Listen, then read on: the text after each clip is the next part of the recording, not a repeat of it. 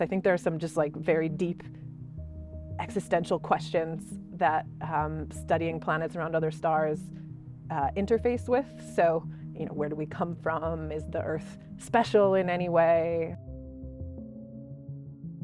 I was actually a physics and Japanese studies major in college. When I got to graduate school, the only thing that I knew for sure is that I wanted to be an observational astronomer. So I ended up at the University of Arizona because uh, they build all the world's biggest optical telescopes. And I just found myself going back in my mind to all these talks about exoplanets. So exoplanet is a planet around another star.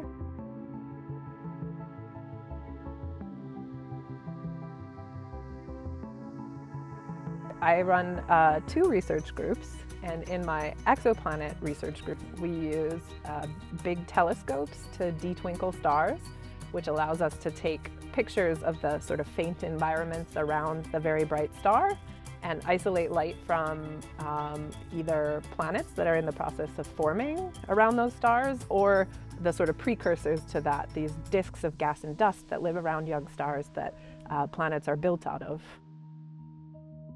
The students are involved in the process of doing science all the way from um, writing, helping me to write telescope proposals and come up with ideas. If I have a crazy idea, I might get a student to do some calculations or simulations, all the way to going to visit uh, big telescopes in Hawaii and in Chile.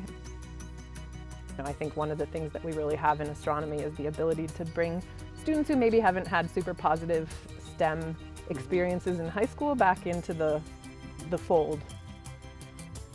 Astronomy is a, it's a gateway science. You know, most kids at some point in their life uh, are fascinated by space